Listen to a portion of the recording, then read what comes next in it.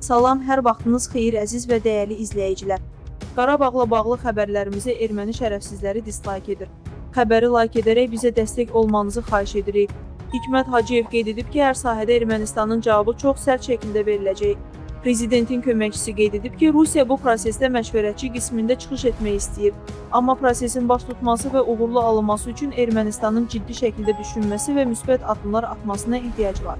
Hikmət Hacıyev vurğulayıb ki, insanların böyük sevinclə güvənli şəkildə doğma torpaqlarına qayıtması və orada yaşaması Qarabağda müharibə səhifəsinin qapanması üçün vacibdir.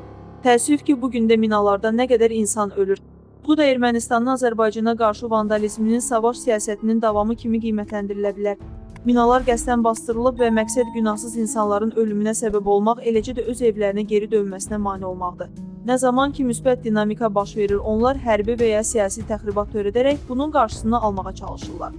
Azərbaycan Ermənistanın bütün bu təxribatlarının qarşısını alacaq və cavabını verəcək, deyə Hikmət Hacıyev fikrini tamamlayıb.